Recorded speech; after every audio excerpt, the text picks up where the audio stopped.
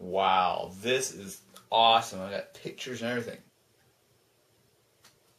Um, and that's what I would say if I had a, you know, prototype, you know, iPod Touch with a camera, of course, you know, that Apple would probably sue me for and, and stuff like that, which, okay, I, I'm just joking. But somebody did actually get an iPod Touch with a camera, as well as uh, show, somebody has a white iPhone 4G.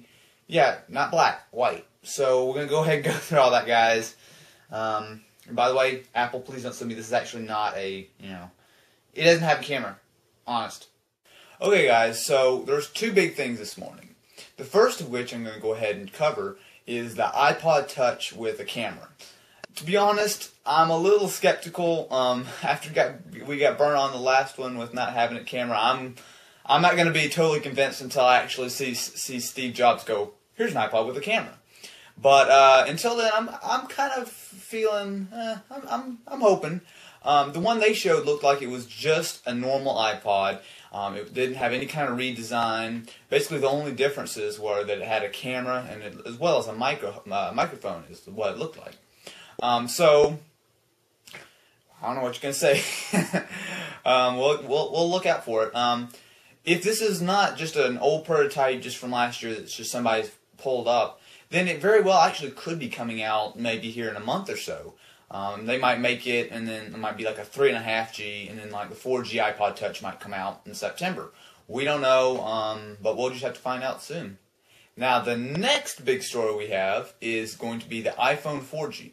Now, of course, we've seen it seems like dozens of prototypes that just people just been leaking like crazy. But uh, one of the really cool things is that um, something I hadn't thought of, but um, it looks like there's going to be a white version. Now, of course, this makes sense. There's been a white iPhone. There's been a white iPhone 3G, um, white iPhone 3GS. So it makes sense that there'd be a white iPhone 4G HD. I swear we're gonna need to learn the name of this thing.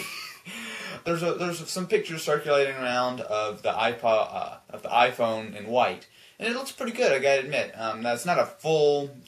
It's not like a normal prototype like we've seen before. It's just more of like the bits and pieces of it, but it does look to be pretty legit.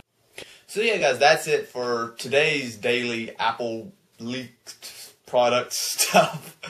Um, yeah, guys, definitely leave me a comment though. I'm really interested to know what are you guys more excited about? Are you more excited about maybe getting like an, a white iPhone 4G, or you just want an iPod Touch with a camera?